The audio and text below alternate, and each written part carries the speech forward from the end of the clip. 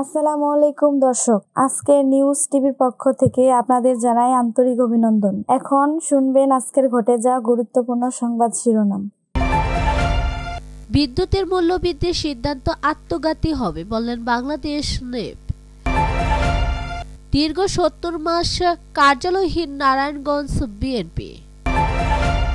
কারারুদ্ধ আমানুল্লাহ আমানের বাসায় মঈন খান। ছয়জন শিক্ষার্থীকে যৌন নির্যাতনের অভিযোগে মাদ্রাসা শিক্ষক আটক। দেশের চিকিৎসা যন্ত্রপাতি ও সরঞ্জাম তৈরির তাগিদ স্বাস্থ্যমন্ত্রী ডাক্তার সামন্তলাল সেনের। বক্সিগঞ্জ বিএনপির সদস্য সচিব বহিষ্কার। গাজায় গণহত্যার প্রতিবাদে রাবিতে প্রতীকী অনশন। ডিল চূড়ান্ত হতে গ্রেপ্তার শাহজাহান, দাবি শুভেন্দুর। ডিজি অযোগ্য, বলছেন সুজন। এতক্ষণ শুনছিলেন সংবাদ শিরোনাম, এবার বিস্তারিত। বিদ্যুতের মূল্যবৃদ্ধির সিদ্ধান্ত হবে আত্মঘাতী। এমন সিদ্ধান্ত দেশে সাধারণ জনগণ এবং সরকারকে বেকায়দায় ফেলবে বলে মন্তব্য করেছেন বাংলাদেশ ন্যাশনাল আওয়ামী পার্টি। বাংলাদেশ নেপে চেয়ারম্যান জেবিল রহমান, গানী ও মহাসচিব এম গোলাম মোস্তফা ভুইয়া গণমাধ্যমে পাঠানো এক বিবৃতিতে তারা এসব কথা বলেন। তারা বলেন, বর্তমান বিশ্বের সংকটময় পরিস্থিতিতে বিদ্যুতের মূল্যবৃদ্ধির ফলে পণ্য দ্রব্যের মূল্যস্ফীতি ব্যাপক হারে বেড়ে যাবে, তাই প্রস্তাবটি স্থগিত রাখা উচিত। নেতৃত্ব বিজয় বলেন বর্তমান সংকটময় পরিস্থিতিতে যারা বিদ্যুতের মূল্যবৃদ্ধির প্রস্তাব দিচ্ছেন তারা মূলত সরকারকে বেকাদায় ফেলতে চান। সময় থাকতে সরকারকে তা বুঝতে হবে। বিদ্যুতের মূল্যবৃদ্ধি হলে সব ধরনের পণ্যের মূল্য বৃদ্ধি পাবে বলে মন্তব্য করেন এবং তারা বলেন, এর প্রভাব পড়বে জনজীবনের উপর যা দেশের অরাজক পরিস্থিতি তৈরি করতে পারে। যার দায়ভার তখন সরকারকে বহন করতে হবে। এরপরও যদি মূল্যবৃদ্ধির সিদ্ধান্ত বাস্তবায়ন করে, সাধারণ মানুষের পকেটে কাটার সামিল হবে। দীর্ঘ সত্তর মাস কার্যালয়হীন নারায়ণগঞ্জ বিএনপি। এক, দুই মাস, নয়, টানা সত্তর মাস ধরে কার্যালয়হীন অবস্থায় ঘরে এবং হোটেলে বৈঠক ও সবার মাধ্যমে দলীয় কার্যক্রম পরিচালনা করতে হচ্ছে নারায়ণগঞ্জ বিএনপিকে। দীর্ঘ এ সময় তাদের নেওয়া হয়নি কোনো সমন্বিত অস্থায়ী কার্যালয়। নেতারা বলছেন, কার্যালয় নিতে উদ্যোগ নেওয়া হলেও বিএনপিকে কেউ কার্যালয় ভাড়া দিতে চাচ্ছেন না।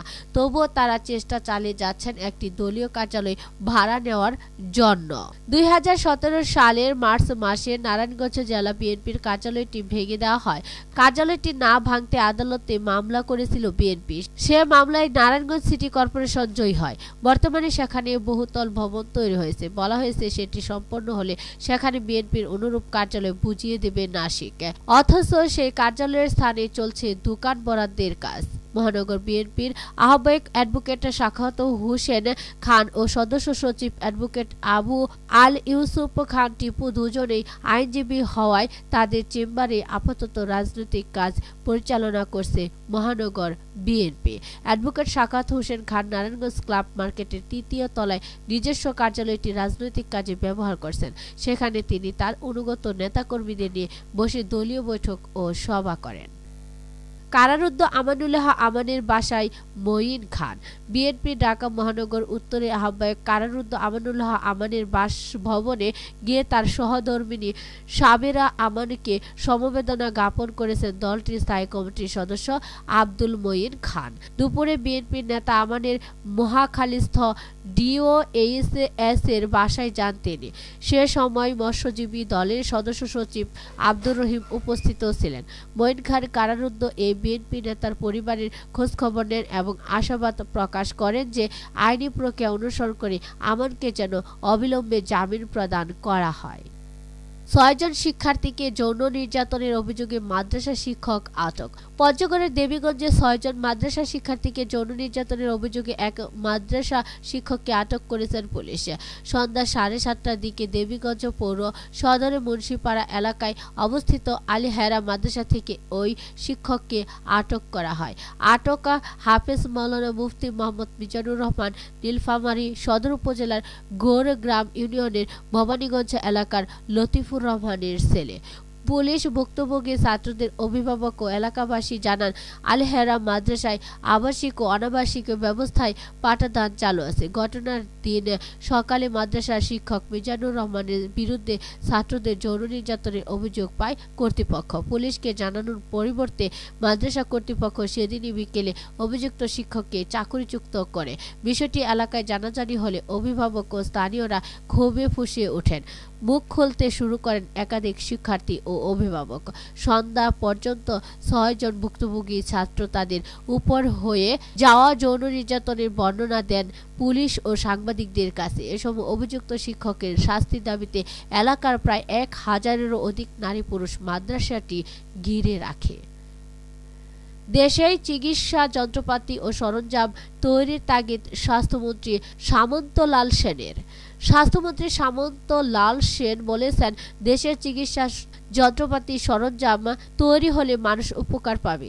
দেশের তৈরি চিকিৎসা যন্ত্রপাতি সরঞ্জাম বিদেশেও রপ্তানি করা সম্ভব। তাই দেশের ওষুধ কোম্পানিগুলো যেন চিকিৎসা যন্ত্রপাতি ও সরঞ্জাম তৈরির ব্যাপারে নজর দেয় সেই জন্য অনুরোধ জানিয়েছেন তিনি।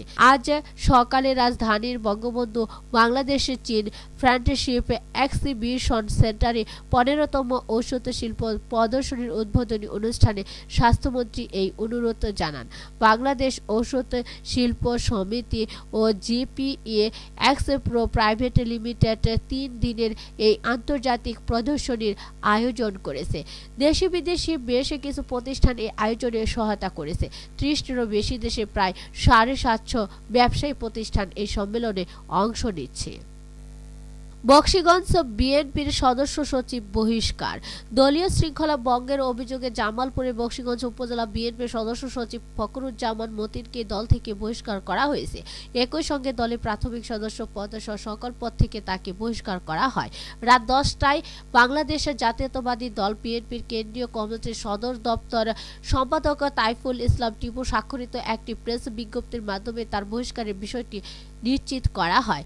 জানা যায়, দলীয় সিদ্ধান্ত উপেক্ষা করে বক্সিগঞ্জ পৌরসভা নির্বাচনে মেয়র প্রার্থী হিসেবে নারিকেল গাছ প্রতীকে নির্বাচনে প্রতিদ্বন্দ্বিতা করছেন উপজেলা বিএনপির সদস্য সচিব ফখরুজ্জামান মতিন, যা বিএনপির কেন্দ্রীয় সিদ্ধান্তের সম্পূর্ণ পরিপন্থ এবং দলীয় শৃঙ্খলা ভঙ্গের সামিল। তার প্রার্থী হওয়ার কারণে উপজেলা বিএনপিতে তীব্র মতবিরোধ শুরু হয় এবং তৃণমূলের মধ্যে ব্যাপক ক্ষোভের সৃষ্টি হয়। তাই দলীয় হাইকমান্ড দলে বিশৃঙ্খলা এড়াতে ফখরুজ্জামান মতিনকে বহিষ্কার করেন বলে জানা যায় যায়। এ ব্যাপারে উপজেলা বিএনপির বহিষ্কৃত সদস্য সচিব ও মেয়র প্রার্থী ফখরুজ্জামান মতিনকে মোবাইল ফোনে যোগাযোগ করা হলে তাকে পাওয়া যায়নি। গাজায় গণহত্যার প্রতিবাদে রাবিতে প্রতীকী অনশন। গাজায় ক্ষুধার্ত ও তৃষ্ণার্থ মানুষের প্রতি সহমর্মিতা এবং গণহত্যার প্রতিবাদ জানিয়ে অনশন করেছেন রাজশাহী বিশ্ববিদ্যালয়ের শিক্ষক শিক্ষার্থীরা সকাল দশটায় ফ্রান্স অফ প্যালেস্টাইনের আয়োজনে বিশ্ববিদ্যালয়ের জুহা চত্বরে তারা অনশন শুরু করেন। কর্মসূচি চলবে বিকেল চারটা পর্যন্ত। এ সময় তারা সংবলিত প্লে কার্ড প্রদর্শন করে প্রতিবাদ জানান। অনশনে অংশ নিয়ে বিশ্ববিদ্যালয়ের অর্থনীতি বিভাগের অধ্যাপক ডক্টর মোহাম্মদ ফরিদ উদ্দিন খান বলেন, ইসরায়েল গাজায় যে আগ্রাসন ও নির্বিচারে গণহত্যা চালাচ্ছে তার প্রতি তীব্র প্রতিবাদ জানাচ্ছে। সেই সাথে সেখানে যে খাদ্য ও মানবিক সংকট তৈরি হয়েছে, সুষ্ঠু সমাধান দাবি করছে। তাদের খাদ্য আসতে দখলদারদের বাধার সম্মুখীন যেন না হয়, সেই দাবিতে আমাদের এই অনশন। গাজাবাসী তাদের ন্যূনতম মানবিক অধিকারটুকু ফিরে পাবে বলে আমাদের প্রত্যাশা। আরবি বিভাগের অধ্যাপক ডক্টর ইফতিখারুল আলম মাসুদ বলেন, গাজাবাসীর উপর বর্বর ইসরায়েলি সামরিক বাহিনী যে নির্মম গণহত্যা চালাচ্ছে, তার প্রতিবাদে আমরা এই অনশন কর্মসূচি পালন করছি। সারা বিশ্ব থেকে এমন নিজ নিজ জায়গা থেকে অল্প অল্প প্রতিবাদ আসতে থাকলে এক সময় অনেক বড় হবে। আমরা আমাদের মানবিক দৃষ্টিকোণ থেকে এখানে বসেছি। আশা করি অনেকেই এমনভাবে প্রতিবাদ জানাবে। দিল চূড়ান্ত হতে গ্রেপ্তার শাহজাহান দাবি শুভেন্দুর, ডিজি অযোগ্য বলছেন সুজন। সন্দেহখালী কাণ্ডে সবর হয়েছিল বিরোধীরা। সিপিএম, বিজেপি নেতৃত্ব পৌঁছে গিয়েছিল হট স্পটে আমজনতার সঙ্গে তারা প্রশ্ন তুলছিলেন, কবে গ্রেপ্তার হবেন শেখ শাহজাহান? চুয়ান্ন দিনের মাথায় অবশেষে পুলিশের জালে সন্দেহখালীর বাক কিন্তু এতদিন পরে এই গ্রেপ্তারি নিয়ে রাজ্য পুলিশকে বিদলেন রাম কংগ্রেস। বিরোধী দলনেতা শুভেন্দু আধিকারীর সাফ কথা পুলিশের সঙ্গে ডিল চূড়ান্ত হতেই সন্দেহখালী বেতাস বাদশাহ গ্রেপ্তার হয়েছে।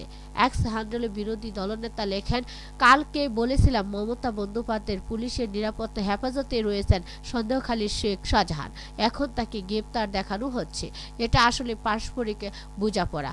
পুলিশ ও জেল হেফাজতে তিনি কি কি সুবিধা পাবেন তা নিয়ে ঢিলের খুঁটিনাটি চূড়ান্ত হতে গ্রেপ্তার দেখানো হলো। এদিকে বিজেপির রাজ্য সভাপতি সুকান্ত মজুমদারের দাবি, বিজেপির লাগাতার আন্দোলনেরই চাপে শেষ পর্যন্ত শাহজাহানকে গ্রেপ্তার করতে বাধ্য হলো রাজ্য পুলিশ। আর কোনো উপায় ছিল না ওদের কাছে।